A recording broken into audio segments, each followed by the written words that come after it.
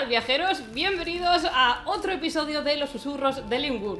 Y esta es Hupu, sí, aunque no lo parezca, susurrando en vuestros oídos las actualizaciones sobre el universo de Warcraft y sus juegos.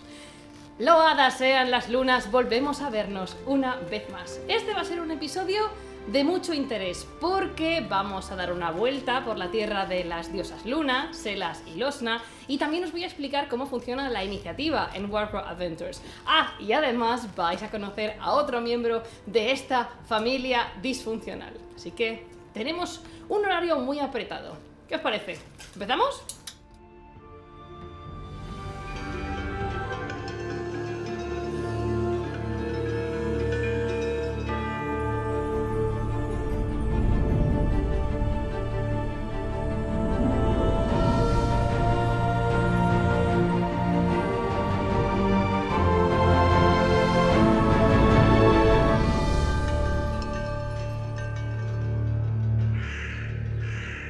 La palabra de las diosas es mi espada, mi identidad, mi orgullo.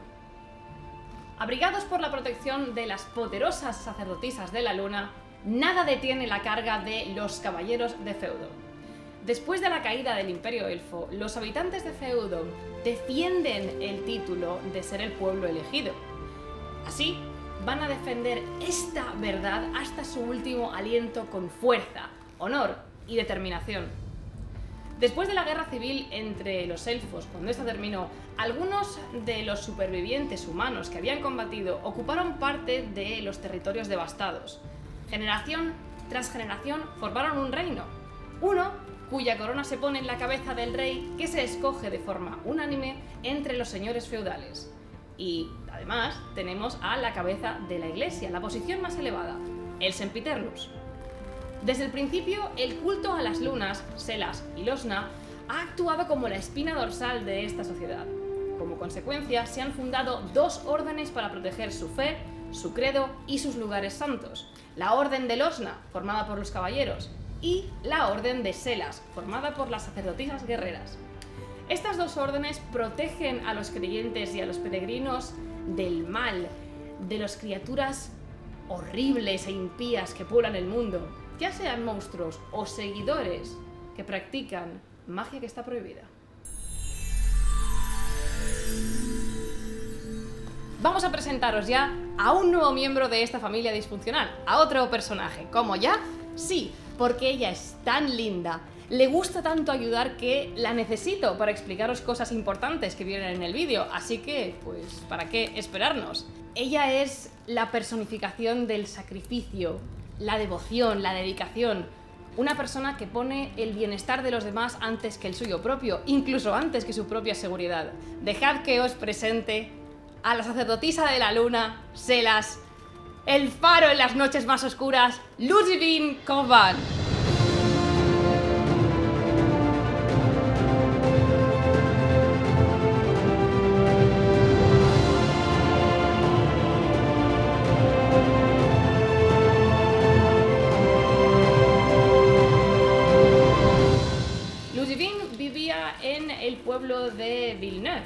Pequeñito, y hasta donde ella recuerda, la niebla siempre ha estado allí. Siempre. Desde muy pequeñita se le dijo y se le advirtió que bajo ninguna circunstancia debía acercarse a ella. Ludivine nunca pensó que fuera nada especial, era capaz de un gran sacrificio y una gran dedicación, sí, pero eso se esperaba de cualquier persona de feudo. Sin embargo, su hermana mayor, auxiliadora, era la inspiración para Ludivina. Estaba bendita por la diosa Selas y poseía un poder espiritual y unas habilidades increíbles. No obstante, eh, la vida de auxiliadora se truncó de forma bastante dramática porque un día Villeneuve fue arrasada por la niebla y ella quedó reducida a nada más que una cáscara de lo que había sido. No podía moverse, no podía hablar, pero todavía respiraba, todavía estaba viva.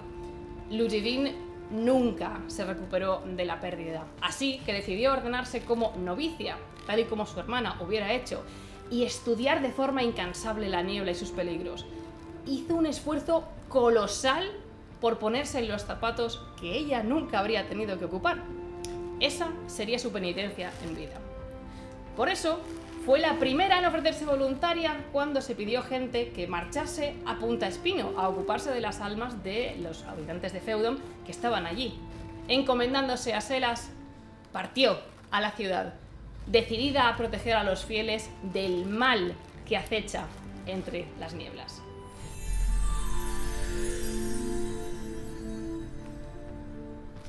Ludivine juega un papel de apoyo en el grupo.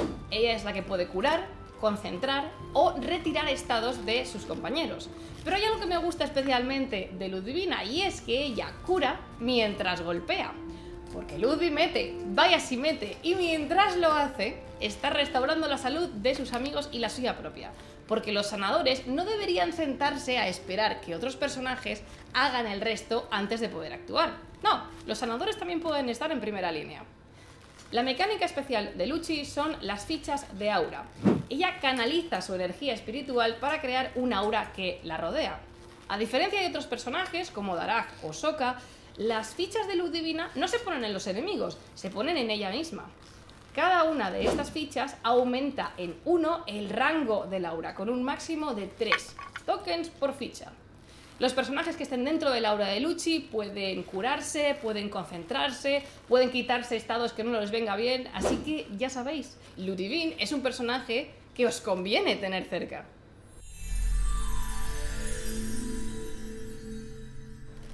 Ludivine es una sacerdotisa, correcto, pero está perfectamente pertrechada para la batalla. Lleva una armadura ligera y una maza que tiene un cambio muy interesante. Cada vez que obtengáis el símbolo de especial mejorado, añadiréis un éxito a vuestra tirada y podréis curar una herida de un personaje que esté en vuestra aura. Además, Ludivine lleva un objeto muy especial con ella, el alma mía. Este es un fragmento de pelo de auxiliadora, un relicario que Ludivine siempre tiene cerca de ella. Y la habilidad de este objeto especial, tu recuerdo, os garantizará un éxito en todas vuestras tiradas de voluntad. Su hermana le da a nuestra niña la fuerza para seguir adelante. Ahora que ya os hemos enseñado a Ludivine, podemos utilizarla como ejemplo para enseñaros las cartas de habilidad que tienen dos lados, cartas que podéis voltear con diferentes habilidades en cada una de sus caras.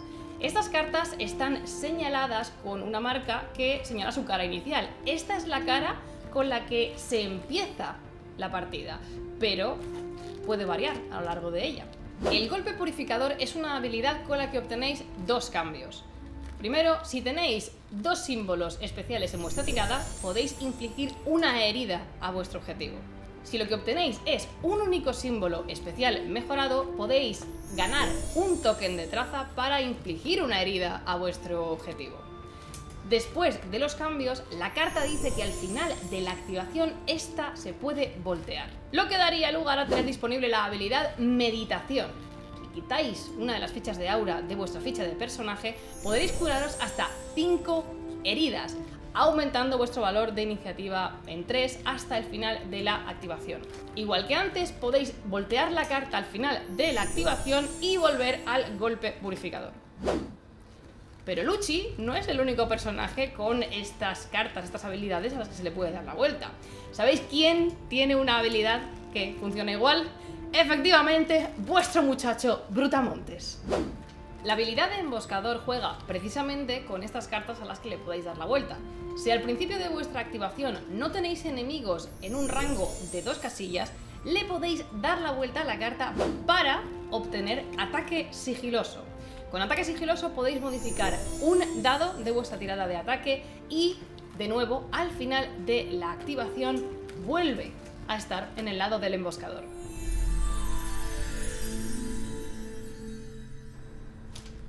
Ha llegado el momento de que os expliquemos la mecánica de la iniciativa y cómo jugamos con ella en Warcraft Adventures. Y no podemos hablar de la iniciativa sin este elemento clave, el track de iniciativa. Esta es una herramienta que nos permite organizar la activación de personajes y enemigos.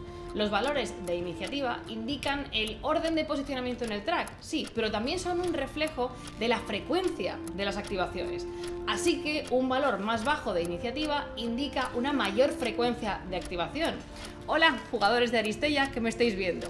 Aquí, una iniciativa más bajita es algo positivo, Os lo vamos a explicar todo con ejemplos y vamos a utilizar dos héroes y dos enemigos. Luchi y Brutamontes y la Marcada y Alola. Al Kipling. Al inicio de una pelea, todas las fichas de iniciativa tienen que ponerse en el track, en la posición indicada por la carta o por la ficha de personaje. Primero colocamos a los enemigos. La marcada tiene una iniciativa de 4, así que se va a la posición 4. El Kipling tiene un valor de 3, así que su ficha se va a la posición 3. Después colocamos a los héroes. Ludivine tiene un valor de 4, así que se va a la posición 4 encima de la ficha de la marcada. Y lo mismo pasa con Daraj, que tiene un valor de 3, así que su ficha se va a la posición 3 encima de la del Kipling. Giramos la flecha del track de iniciativa desde la posición 1 en adelante.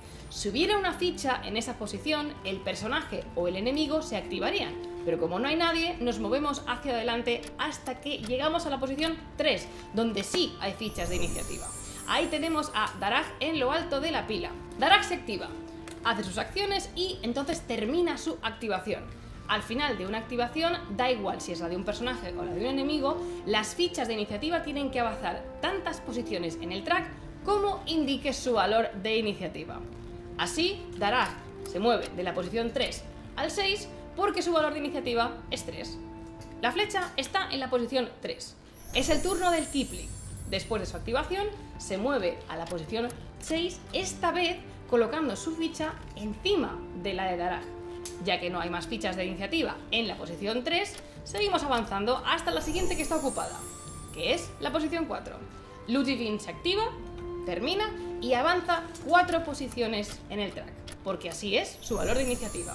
La marcada se activa, termina y avanza 4 posiciones, colocando su ficha encima de la de Ludivine. Como veis, nuestro track de iniciativa tiene posiciones de la 1 a la 10. Si estuviera jugando con Ludivine y estuviera en la posición 8, cuando termine mi activación, tengo que moverme tantas posiciones como indique mi valor de iniciativa, que son 4. Así que Ludivine se iría a la posición 2. Cuando la flecha llegue a la posición 10 y después de que ya no haya ninguna ficha en esa posición, empieza una nueva ronda y volvemos a la 1 y seguimos jugando. ¿Os acordáis de lo que dije hace dos billones de años cuando me refería a los malus del panel de energía? Sí, pues yo me estaba refiriendo precisamente a esto. Si colocáis un cubo de energía en uno de los espacios que tiene este disparador, tendréis que avanzar inmediatamente la ficha de iniciativa de vuestro personaje una posición en el track de iniciativa. Porque acordaos, los disparadores son inmediatos. Al final de vuestra activación os volvéis a mover, avanzáis tantas posiciones en el track de iniciativa como vuestro valor indique. Esta es una de las razones por las cuales la estrategia y la administración de la energía son tan importantes en Warcraft Adventures. Podéis hacer más de una acción, sí, pero eso querrá decir que os vais a activar más tarde, que vuestra activación puede verse afectada y retrasada de forma bastante notable. La iniciativa también se puede variar con habilidades o estados. Por ejemplo, tenemos el estado ralentizado. Este estado hará que el personaje o el enemigo avance dos posiciones extra al final de su activación. Podéis leer sobre este estado y sobre muchos más en nuestra página web warcraft.com. Pero la iniciativa también se puede modificar por efectos que vengan de personajes, eh, habilidades o incluso cartas de consumibles. Por ejemplo, ¿os acordáis de los Naurlin, estos orbes que Naira coloca por el tablero? Los enemigos que estén adyacentes a los Naurlin reciben el estado ralentizado. Y entre nuestros consumibles tenemos el bálsamo que reduce en uno el valor de iniciativa del personaje para una activación. Así que ya veis, la iniciativa cambia muchísimo y determina el final de una batalla. Así que acordaos de prestarle atención.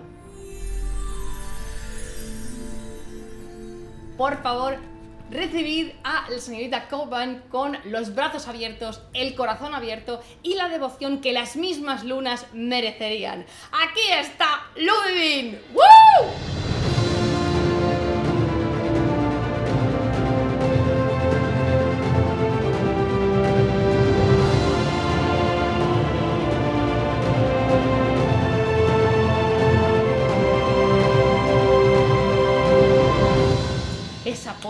Tan digna que tiene, la forma en la que la tela vuela tras ella, esa barbilla alta hacia el cielo con una actitud de calma pero atenta, preparada para todo lo que se le venga encima.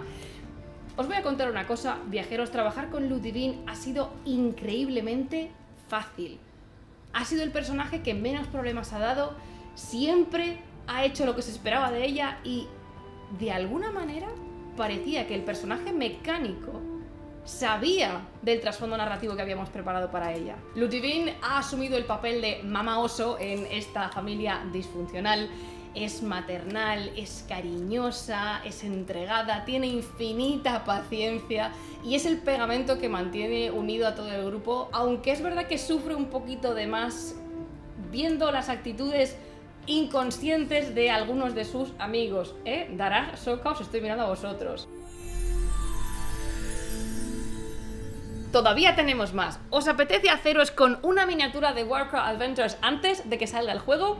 Es hora de hacer un sorteo. Para participar en el sorteo, aseguraos de que nos seguís en Facebook, Twitter e Instagram. Id a la publicación del sorteo y comentad ahí abajo con quién vais a jugar Warcraft Adventures y Warcraft el Wargame una vez salgas. El ganador o ganadora se va a llevar una miniatura de la marcada. El sorteo estará abierto hasta el día 4 de agosto. Aseguraos de ir a la publicación y leer las instrucciones muy cuidadosamente para que vuestra entrada sea válida. ¡Buena suerte! Y eso ha sido todo por ahora. Muchas gracias por acompañarnos hoy. Aseguraos de que nos seguís y suscribíos para no perderos ni una sola de las actualizaciones de los susurros del Link. Que las dos lunas os sean propicias y recordad esta alerta porque la niebla se aproxima. Y que alguien me saque de aquí dentro, por Dios, es Julio y llevo una armadura completa, por favor.